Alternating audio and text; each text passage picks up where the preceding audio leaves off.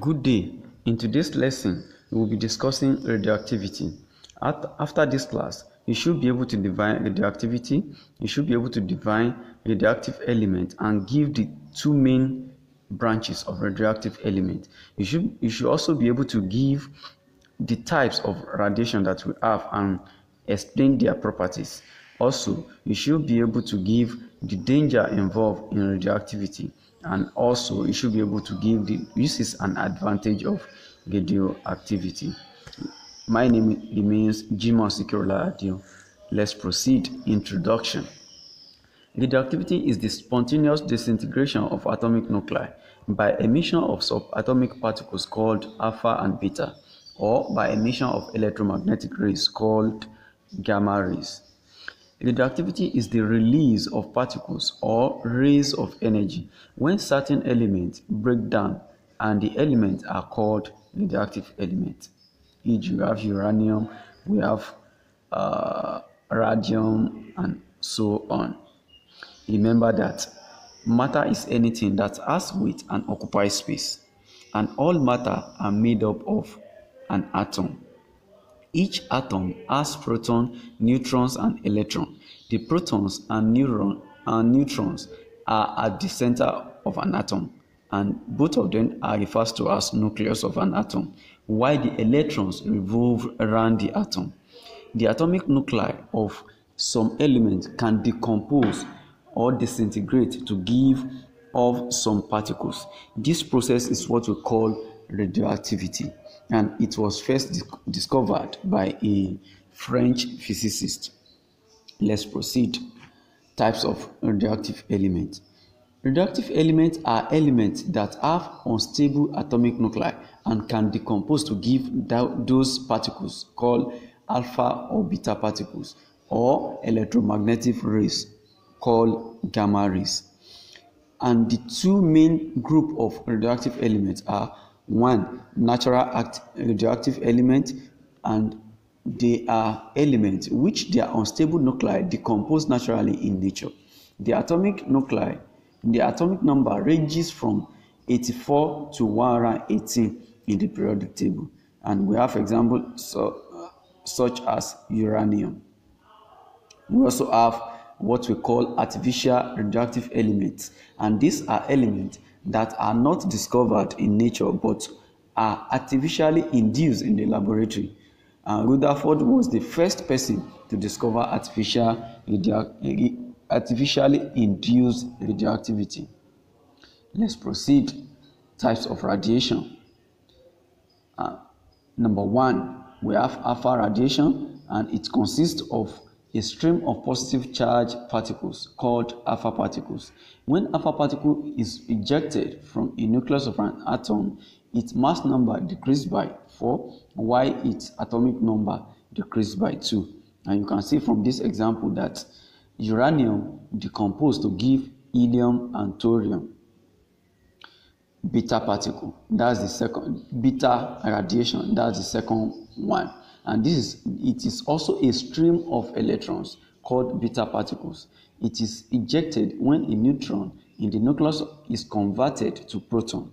Therefore, the mass number of the nucleus remains the same while the atomic number increases by 1. They are negatively charged particles and travel at a half speed of light and penetrate a few centimeters of wood but stopped by a centimeter of aluminum plate.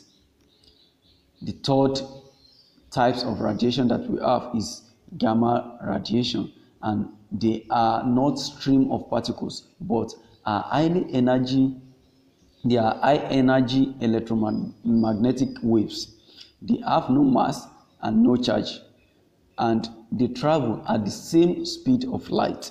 They are only stopped by a lead or thick concrete and you can see from those diagram the properties of the three uh, radiation types that we have and also uh, what can stop them in, uh, in their motion. Let's proceed. Uses of radioactivity. Number one, radiotherapy, e.g., cancer is treated using high energy radiation such as X rays. We also they are also useful in radiography. That is, radiation such as X-ray is also used in taking picture of an internal organs and bones inside the body. They are also used in sterilization. Gamma rays are used to kill germs in medical instruments or food that cannot be eaten. And they are also used in the estimation of age, that is, carbon dating. In old rock, bones or art artifacts is measured to give, to give estimate of their age. Radioactivity is also useful in nuclear energy generation. Great energy are released during radioactive, radioactive decay in a chain reaction. Such energy are used in generation of electricity and, and highly destructive nuclear weapons. Another point, another point is that some elements are used in smoke as smoke detectors.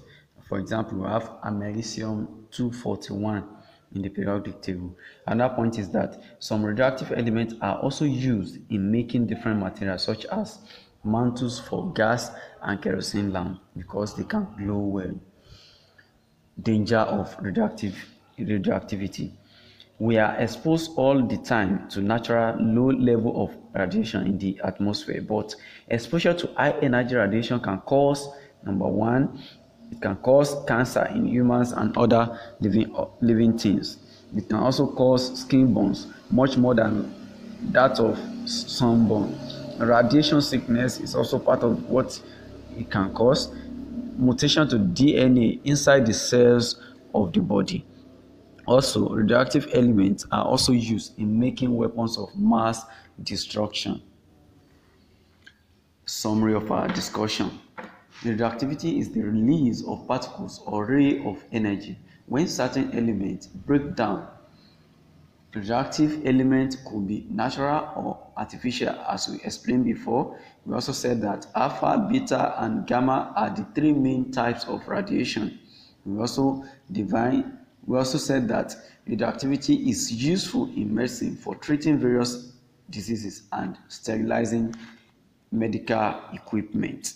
We also said that despite its uses and advantages, radioactivity is dangerous. It can cause burns, radiation sickness, DNA mutation, and cancer.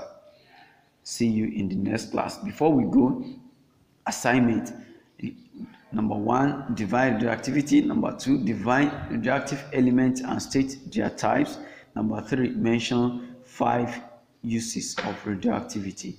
See you in the next class.